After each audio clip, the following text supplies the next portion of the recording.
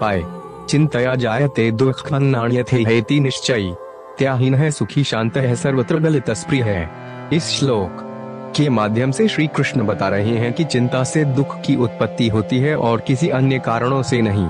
इसलिए जो व्यक्ति चिंता से दूर रहता है, वे सुखी, शांत और सभी इच्छाओं से मुक्त रहता है। इसलिए चिंता को कभी भी अपने ऊपर हावी न होने दें, क्योंकि इससे केवल दुख की प्राप्ति होती है।